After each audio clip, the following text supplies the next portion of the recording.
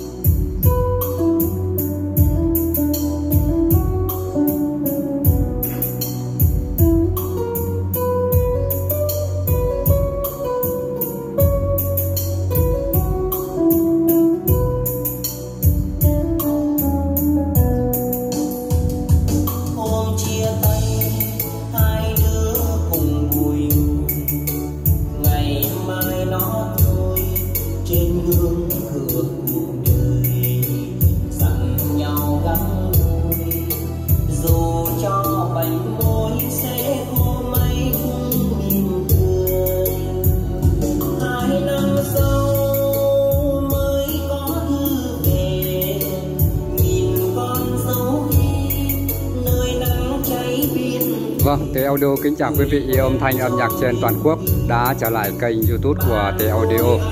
Ờ, quý vị và các bạn thân mến, để tiếp tục clip ngày hôm nay giống như thường lệ thì ngày hôm nay ờ, uh, Tế Audio làm một clip để uh, test lại cặp loa với model uh, JBL MRX 525 thiết kế hai bát neo 40 và một loa chép kèn để à, trước khi cho nó về với hai bác khách à, về từ Hà Nam để ủng hộ bên trung tâm của T Audio.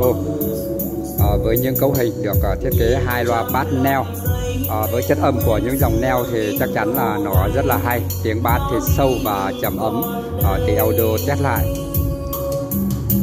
trong ờ, trung tâm của Teodo hiện nay thì có rất là nhiều những model khác nhau những dòng full đôi những dòng full đơn những dòng có phân khúc cao cấp cũng như những cặp loa có phân khúc tầm trung những cặp uh, súp kép những cặp súp đơn mà bên trung tâm của Teodo đang sở hữu. Quý vị và các bạn chúng ta quan tâm những sản phẩm nào xin hãy liên hệ với Tây Audio để sở hữu nhiều những cái model khác nhau. Tùy thuộc theo những căn phòng lớn căn phòng nhỏ của những quý vị yêu âm thanh âm nhạc trên toàn quốc à, những quý vị nào căn phòng nhỏ thì à, dùng những cặp nhỏ những à, quý vị nào căn phòng to thì dùng những à, cặp to những model đời 3 số, đời 4 số, full đôi, full đơn, súp đơn, súp kép nhiều những model khác nhau bên trung tâm của tỷ audio đang sở hữu. Mọi nhu cầu mua sắm quý vị và các bạn hãy liên hệ với tỷ audio theo số điện thoại 0975 600 005 để được tư vấn một cách chi tiết hơn. À, với những cặp loa cấu hình uh, JBL MZX525 thì chất âm chắc chắn nó là hay rồi vì hai bác uh, cùng quan tâm những sản phẩm như thế này về với trung tâm của T Audio. Uh, mở lên để các bác nghe một cách thực tế thì các bác rất là ưng và rất là hài lòng. Uh, về cả độ đẹp cũng như về cái nội thất bên trong cũng như bên ngoài À, tuy nhiên thì tụi Eldo cũng muốn mở hết bên trong để cho các bác ờ, xem, các bác trải nghiệm. À, nhưng à, khi mở được à, một chiếc bát ra thì các bác nhìn thấy cái ruột bên trong là các bác đã không cần phải xem nữa rồi. Các bác bảo thôi không cần, à, chỉ cần ngó một cái là biết được độ đẹp của nó bên ngoài và bên trong có chuẩn hay không rồi. Đấy. Ở những cặp như thế này thì là thì mình TLD được ờ, lúc nào cũng uh, tuyển chọn những cặp loa đẹp để uh, phục vụ quý vị nhiều âm thanh âm nhạc trên toàn quốc.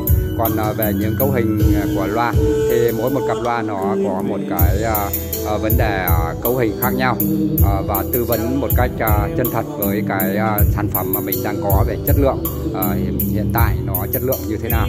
Uh, thì Audio đã tư vấn uh, một cách chính xác để uh, các bác được sở hữu những cặp loa đúng với sự tư vấn và đúng với đồng tiền các bác bỏ ra.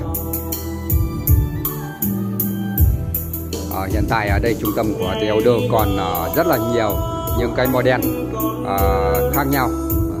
À, tuy nhiên thì nó cũng không phải là nhiều hẳn nhưng cũng đủ có đủ những các cái sản phẩm à, đủ độ đẹp cũng như đủ độ chuẩn để phục vụ quý vị và các bạn. À, rất mong được à, phục vụ quý vị và quý khách ở xa ở gần đến với trung tâm của The Audio để sở hữu nhiều những model khác nhau. Thời gian thì à, cũng không có nhiều.